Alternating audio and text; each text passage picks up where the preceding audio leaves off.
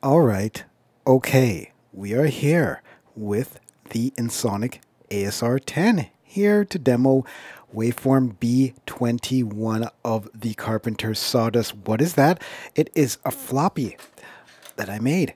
And it's right here of 32 waveforms designed for your Ensoniq Trilogy sampler. That includes the Ensoniq ASR 10, which we have here, the EPS 16 Plus, and the EPS Classic. So all three of those, I refer to them as the trilogy. These are 32 waveforms that move, can be stacked, can be layered. Essentially, you can use these waveforms and subject them to the mass amount of synthesis that these samplers provide. Right? So, on to B21. B21 is described as a velocity sensitive, sustaining, resonant waveform that's got a little bit of tricks up its sleeve. Um, one is the mod wheel morphs through the timbre of the waveform. So it changes as you move the waveform, slightly uh, changing sort of the resonant structure of it, but it's not filter dependent.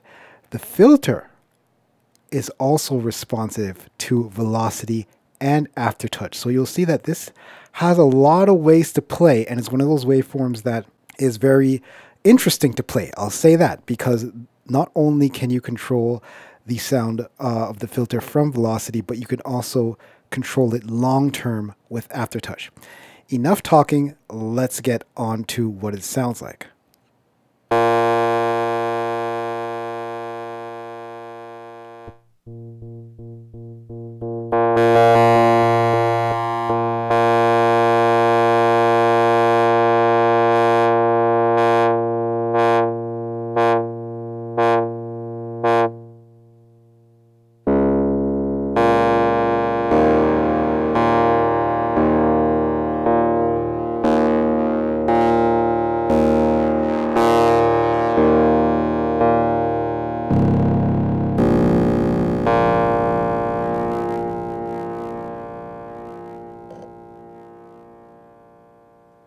So as you've seen me moving through the waveform there, you can see that there's a whole lot of texture that you can get uh, by playing it two ways. It's this, it's the velocity and the aftertouch thing that will give you the most amount of expression while playing, and the waveform timbre modulation on the mod wheel will give you just a shift.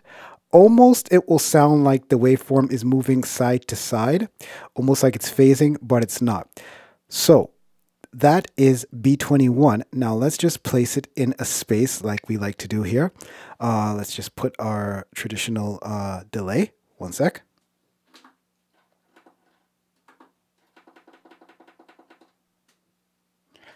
Dual delays. Here we go. Let's take a listen.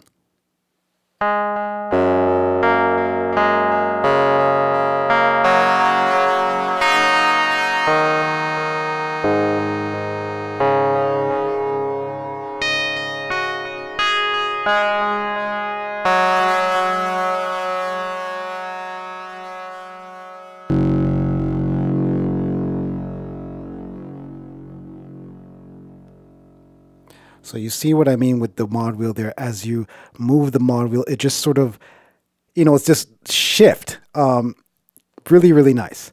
Now, to end off, let's listen to it in a sequence and see what we get.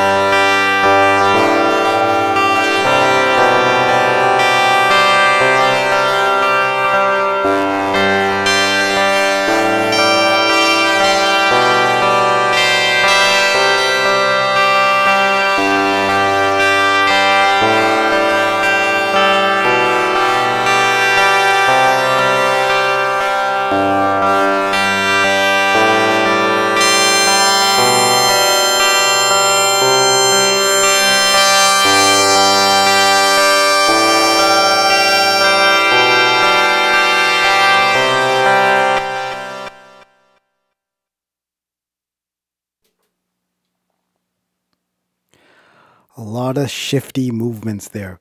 Uh, this is one of those sounds that I designed to really work along with a layer. Of course, it's amazing on its own. The shift is. You know, that resonant arboreous shift in timbre is amazing on its own, but it's hollowed out uh, in structure so that it will play well with something more defined in the center. It just was meant to, you know, engulf two sides of a waveform you know, something really solid and definite in this middle will really, really play along nice with this. So I encourage you, uh, when you have the disc, to layer it all the waveforms, but this one in particular, layer it and see what you get for more benefits. Uh, very, very, very nice in that way. That is B21. If you want to know more about all the patches here, just B21, you could download the free patch guide manual at thedaydreamsound.com. But if you have any of the Ensoniq Trilogy samplers and you have not gotten the Carpenter Sawdust waveform disc, what on earth are you waiting for? B21. Get yourself down to the Daydream Sound General Store and get yourself sorted. That is all I wanted to share with you today. In the meantime, please do take care of yourself. Peace.